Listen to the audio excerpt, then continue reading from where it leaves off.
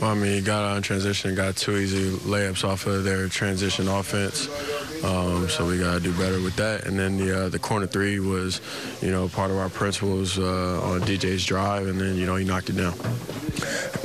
Coach was talking about how the starters are, you know, struggling right now. Does it does it feel mental, physical, collectively as a group, as a starting unit? What are you what are you feeling right now?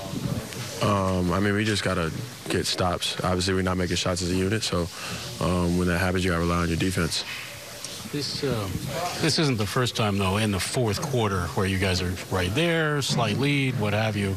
Um, have you noticed a commonality where in these fourth quarters it's kind of hard to put your foot down and close these games out? I mean, teams going a little bit of a run. You know, they get up seven, something like that, and then uh, you know because we're not making shots, um, you know, it just becomes tough for us. You know, because uh, the the shorter the time window, the harder it is to make up seven points.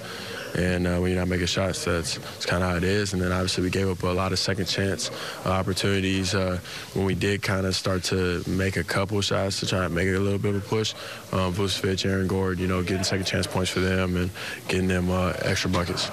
Does it become a little bit of a mental thing when you go through a prolonged shooting slump like like some of the guys have done? Um, I mean, I, I, guess a shooting slump in general would all be mental, right? Because, you know, we're, we're professionals. We shoot every day. Uh, you know, some of the shooters in here are the best in the in the league. Joe, TP, GT. You know, just in terms of trends and historically, best, some of the best in the league. So, you know, you would.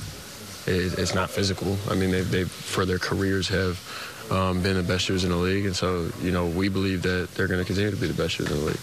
You and Joe had 16 apiece, but the starters only scored 52. What do you think is happening with the offense in relation to the starters? Uh, we're just not making shots, man. Uh, that's what I, that's what I see right now. Did you, uh, when you came out after half, did you personally make an effort to be more aggressive? I mean, I think you had like maybe three points or what three have you in the, in the first half, and then in the third quarter, um, you clearly spurred the comeback. Were you making an effort to be more aggressive, or was that just the way the game flowed?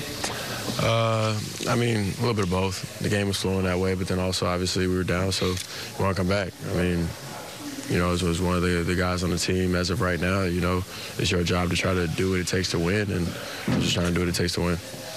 When you play shorthanded for such a long time, though, does that start to take a toll on on people?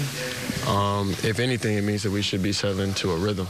Um, instead of letting it take a toll, we should be like, hey, this is what we've got. You know, I'd see if it was like a five-game stretch or something, and it was like, oh man, game five, it really took a toll because the first four we were doing it this way, and then game five was hard, and you know, but now everybody's back, so we go back to the way we play. But I mean, we're going on like 20 games or something like that. Like it's, it, that's that's a quarter of the season. Like it's we, we have to settle into a rhythm of who we are and how we're going to play night in and night out. Um, that's that's just what it is. And, and what was the technical about the first half? I euroed Nikola Vucevic and he hit me in the face. So when we came back down, I got the rebound and I turned around and I said, he hit me in the face.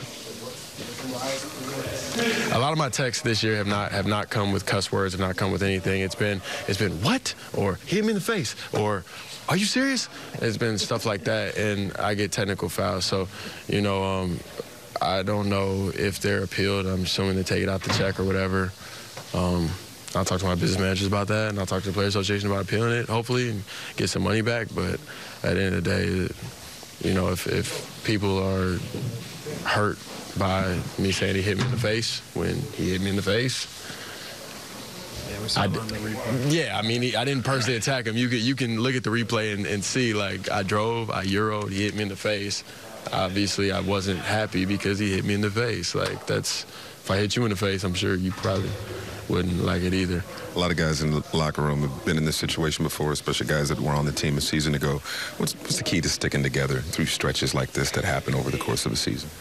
Um, just understanding who we are. I mean, obviously, uh, while we were playing extremely well, um, there was no way that we were probably gonna, you know, keep that up when we were like six and one or something like that. I mean, that would have made us the Milwaukee Bucks or something. So, uh, you know, just, just understand that the season ebbs and flows. You know, we could very well just like last year go on a 7-0 run, right? And then everybody's gonna say, oh, we one of the best teams in the league. We're gonna be back over 500, all that other stuff. So, you know, it's just about sticking to it, hammering away at the at, at the stone, and eventually the stone breaks. You know, it's, it's not going to be the, the first time you swing. It's going to be one of the subsequent times.